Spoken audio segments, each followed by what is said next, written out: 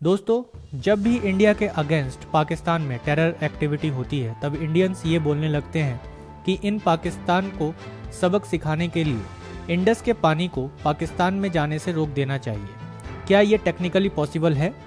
एक बार तो India water war को शुरू कर दे और इंटरनेशनल रूल्स को भी साइड में कर दे तो भी टेक्निकली ये करना इम्पॉसिबल है। इंडस के पानी को रोकने के लिए इंडस, झेलम, चेनाव राबी व्यास और सतलुज इन सारे नदियों का पानी रोकना होगा। ये नदियाँ पहाड़ी घाटियों से बह रही हैं। आपको पहाड़ काट कर एक अल्टरनेट चैनल बनाना होगा नदी के पानी को बहने के लिए। अगर आप नेचुरल चैनल को ब्लॉक कर रहे हैं तो जो टेक्निकली पॉसिबल नहीं है तो हमें करना क्या चाहिए? हमें सीखना चाहिए चाइना से, जिसने ब्रह्मपुत्र रिवर पर डाबू जियास्कू जैसे बड़े डैम बनाए हैं।